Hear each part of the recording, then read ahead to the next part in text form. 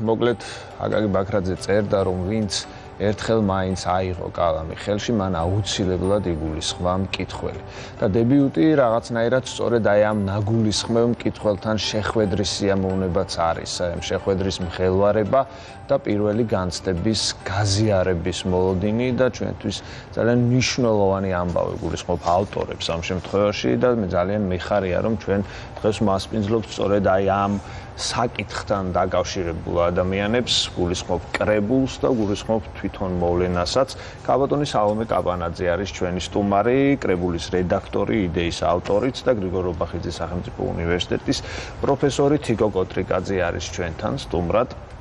სოხუმის უნივერსიტეტის სტუდენტი და გურო დავითლიძე არის ილიას უნივერსიტეტიდან ორი დებიუტანტი და ერთი ადამიანი რომელიც ამ შემთხვევაში დებიუტანტებს ახალისებს და ამ კრებულებით ამ შემთხვევაში არის წარმოქმნილი ჩვენ წინაშე ძალიან დიდი მადლობა პირველ რიგში სტუმრობისთვის. მოკლედ მე კარგად მახსოვს ჩემი დებიუტიც მაშინ გამოდიოდა ასეთი ალმანახი პირველი სხივი და მახსოვს რომ ერთი სამი კვირა მე მგონი თავთან მედო მართლა ეს წიგნი და დავხედავდი ხოლმე ნამდვილად ვიყავი თუ არა. დაბეჭდილი მე მგონია რომ იგივე განცდა უნდა გქონდეთ. თქვენ მით უფრო რომ დღეს ამ სოციალური ქსელების ეპოქაში ბერძნულ ციგნს კიდე უფრო განსხვავებული ხიბლი აქვს. დავიწყებ ქალბატონის საუბეთი ჩვენ დღეს აი აქ სამი ციგნი გვაქვს. წარმოდგენილი სამი სხვადასხვა თაობის დებიუტი. მოდი მოგვიყევით აი ამ კრებულების შესახებ როგორ დაიბადა საერთოდ იდეა და რატომ გადაწყდა რომ არა მხოლოდ კონკრეტულად ერთ უნივერსიტეტს არამედ ბევრ ბევრ სასწავლებელს აერთიანებდეს ეს კრებულები. გისმენთ. დილამშვიდობისა საქართველო. გიორგი, თქვენ ძალიან კარგად აღნიშნეთ და თქვით, რომ ჩვენ ვახალისებთ, მაგრამ მე სხვანაირადაც ვიტყოდი, მე მგონი ესენი უფრო გვახალისებენ ჩვენ, იმიტომ რომ პულსაციაზე გვაქვს ხელი მიდებული და სიმართლე გითხრათ, მე ყოველ წელიწადს მათგან ძალიან ბევრ ამას ვსწავლობ. თუ გვინდა რომ დავინახოთ რითის უნდკავს ეს თაობა, ვისწავლოთ, გავხდეთ უკეთესები, ამისათვის აუცილებლად უნდა წავიკითხოთ დებიუტი და არა მარტო დებიუტი, იმიტომ რომ ეს სიტყვა მე ვფიქრობ ზოგადად ზოგადად რაღაცა საერთო მნიშვნელობა შეიძინა. მე ვიცი რომ საზოგადოებრივ აღსაც ქართულ ფილმსაც და აქაც არის ასეთი პროექტი. ასეთი და მათ ამ პროექტის მიზანია აღმოჩენა ნიჭიერი ახალგაზრდების და მათი რეჟისორებისა და მე ვფიქრობ ესე ძალიან კარგი ჩანაფიქრია და მომავალში ისიც კი ვიფიქრე ხო არ შეიძლება რაღაცა გაერთიანება მოვაწყოთ და ეს გზები აუცილებლად გადაიკვეთოს. ეს გზები აუცილებლად გადაიკვეთოს, მაგრამ ფაქტია ის რომ ნიჭიერი ახალგაზრდებისთვის ხელში შეწყობა და სწორედ ბეშტურის სახით ამის გამოცემა ფიქრობ აუცილებელია. მიუხედავად იმ ფუფუნებისა, რომ ჩვენ დღეს პრომეტი საშუალება გვაქვს, ვიდრე თქვენ აღნიშნეთ პირველი სხივის დროს, დღეს სოციალური ქსელი მათ ძალიან ეხმარება, მაგრამ დაბეჭდილს მაინც ხასურნელი აქვს, სხვა დატვირთვა აქვს და სხვა мотивация აქვს ალბათ დამეთანხმებით. ციკო მოგვიყვება ამ мотивациაზე. мотивация ძალიან დიდი იყო. და საკუთარ შემოქმედებაზეც გითხარით. შემოქმედებიდან მირჩენია წაკითხოთ. და რატომ წერთ? რატომ წერეს პირობითი ესეთი კითხვა, რომელსაც პასუხი არ აქვს. როცა გეწერება, მაშინ უნდა წერო. არ შეიძლება წერო მოვალეობის მოხდის მიზნით. წერა არის ის, რაც გამოგაქვს შიგნიდან. და როგორც თქვენ აღნიშნეთ დებუტის პრეზენტაციაზე, ეს არის მცდელობა ადამიანის შინაგანი სამყაროდან დანახვის. სწორედ აქედან იწყება ყველა. რომელი ჟანრია თქვენი? პოეზია. პოეზია. და ალბათ წავკითხავ კიდე. დიახ, ერთ კი, მოდი ლექსები ბოლოსკენ შემოვინახოთ, როგორც გემრიელი ლუკმა. გურო, თქვენი თქვენი მცდელობები რითი არის განპირობებული ამ შემთხვევაში? რატომ გადაწყვიტეთ, რომ ადამიანს დააგვირდეთ შიგნიდან და მე რესხვებს გაუზიარეთ? მოგესალმებით, პირველ რიგში მოგესალმებით ტელემაყურებელს. აა ესეთი ამბავია, ფაქტობრივად ადამიანი, როდესაც წერს რაღაც ხრივ არ შეუძლია მე უკვე რა არ წეროს. აი, ჩემში სწორედ ეს არის, რომ როდესაც იღვიძებ, იმდენი ამბავი ხდება შენს გარშემო, იმდენი ადამიანი მოძრაობს შენს გარშემო, რომ მე უბრალოდ არ შეგიძლია რომ არ წერო. და სწორედ ეს არის ის, რომ ვცდილობ მუდმივად ადამიანებს დავაკვირდე, სამყაროს დავაკვირდე და შემდეგ უკვე დავწერო ის, რასაც დავინახავ. ჩემი პირველი დებიუტი, ასე თქვა, შედგა პოეზიის ჟანრში. ეს იყო 2 წლის წინ და სწორედ აქ გადაიკვეთა ჩვენი ურთიერთობა ჩემი და ქალბატონი სალომესი. ასევე ძალიან დამეხმარა ჩემი ახლო მეგობარი შალვა ბერიანიძე, რომელმაც მიმიყვანა აქამდე. მართლა ძალიან გახარებული ვიყავი, რა თქმა უნდა, Facebook-ი და ბლოგები სხვა ამბავია, მაგრამ შენ თავს როდესაც ხედავ, აი უკვე დაბეჭდილს უკვე სხვა სიხარული. რაღაცა რაღაც ტიპის სელექციის გავლის განცდა არის ბეჭდურ წიგში მოხვედრად და სოციალურ ქსელში ნებისმიერ შეუძლია. და ამჟამად უკვე პროზის ნაწილში დავიბეჭდე ჩემი პატარა მოთხრობა დაიბეჭდა და ძალიან დიდი მადლობა ამისათვის. მადლობა, მადლობა თქვენ რომ რეალურად ამ რაღაცნაირად აჩქარებულ დროში იტოვებთ აა წუთებს ფიქრისთვის. ქალბონ სალომე 3-4 ჟანრია, სამი ჟანრია რეალურად წარმოდგენილი და მეოთხე არის თარგმანი.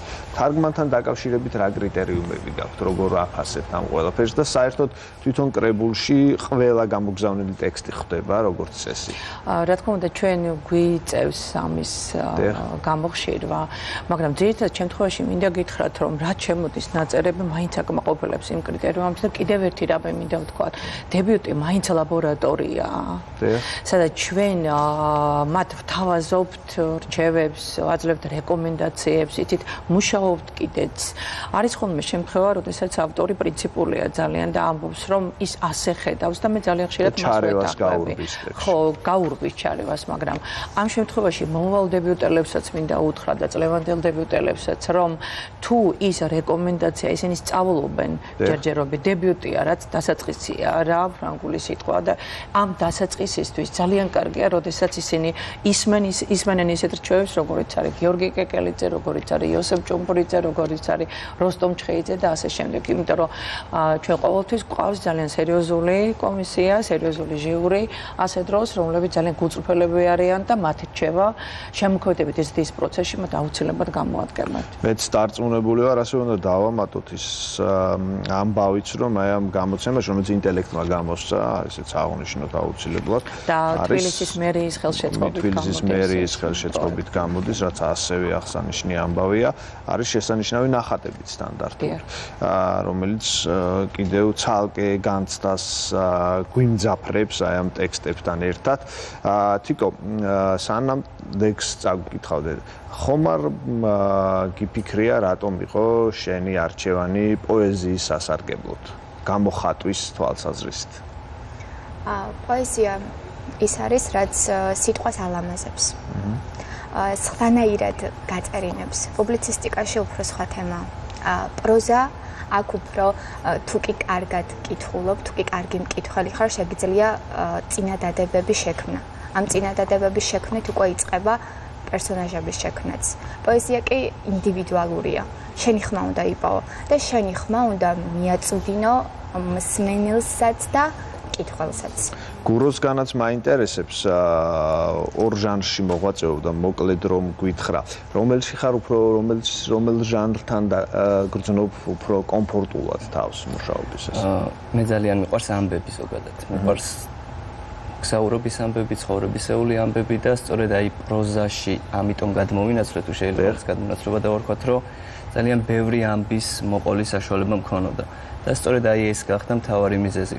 პოეზიას რაც შეეხება ბავშვობიდან წერდი სკოლის ასაკიდან და ეს იყო უბრალოდ პირადი განცდების რეპრეზენტირების ერთ-ერთი მთავარი საშუალება და შვენია. ახლა უკვე მინდა რომ ის ამბები რომელიც ჩემს გარშემოტრიალებს ფართო საზოგადოებასაც მივაწოდო და ოხარ. კი ბატონო ლექსით დავასრულოთ მაშინ და დიდი მადლობით ბუნებრივია ქალბატონის სალომესადმი და განსაკუთრებით ავტორებისადმი, რომლებიც ცდილობენ რომ ქართული ლიტერატურის უწყვეტი ჯაჭვი გააგრძელოს. ძალიან დიდი მადლობა.